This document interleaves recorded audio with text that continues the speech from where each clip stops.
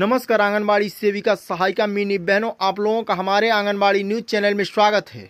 हमें जो खबर लेकर आए आंगनबाड़ी बहनों के लिए, एक बहुत बड़ी जो है कि खुशखबरी निकल कर आ रही है। तो आइए हम इसको पूरे विस्तार से देखते हैं। जैसा कि हम आपको बता दें कि ये खुशखबरी जो निकल कर आ रही है, आंगनबाड़ी बहनों के मानदेय से रिलेटेड जो है कि खुशखबरी निकल कर आ रही है। साथ ही साथ हम आपको बता दें कि ये खबर जो निकल कर आ रही है, मध्य प्रदेश के शाजापुर ज़िले से जो है कि खबर निकल कर आ रही है। तो आइए हम इसको पूरे विस्तार से देखते हैं। उससे पहले आप हमारे वीडियो को अगर लाइक नहीं किए तो प्लीज़ वीडियो को लाइक कर दीजिए और चैनल को सब्सक्राइब करके बेलाइकन को ऑन कर लीजिए। आइए हम आपको सीधा खबरों की तरफ़ ले चलते हैं। जैसा कि हम आपको बता दें कि अप्रैल माह का मानदेय जो है कि आंगनबाड़ी बहनों का आना शुरू हो गया है, जो शाजापुर ज़िले से एक बहन के द्वारा जो है कि इसकी जानकारी दी गई है।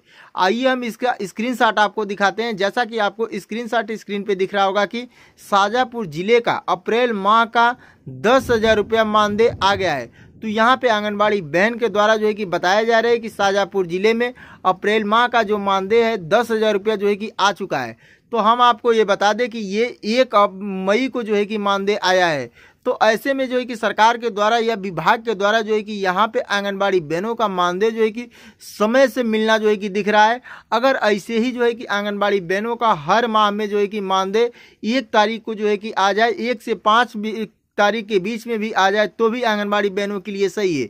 इस वजह से सही है कि आंगनबाड़ी बहनों को एक तो जो है कि कम मानदेय दिया जाता है, उसके बाद भी जो है कि आंगनबाड़ी बहनों का मानदेय के लिए जो है कि दो महीने, चार महीने ऐसे जो है कि वेट करना पड़ता है।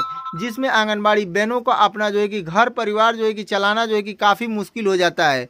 एक तो उनका मानदेय कम है, दूसरे में जो है कि चार महीने छः महीने ऐसे लटका देती है सरकार, उनका मानदेय जो है कि नहीं मिल पाता है, जिससे आंगनबाड़ी कार्यकर्ता, सहायिका बहनों को जो है कि कठिनाइयों का जो है कि सामना करना पड़ता है।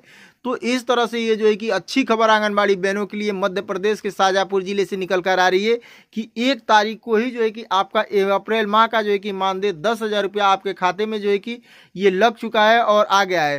तो ये बड़ी खुशखबरी निकल कर आ रही है आंगनबाड़ी बहनों के लिए, जो कि हम आपको पूरे विस्तार से दिए हैं।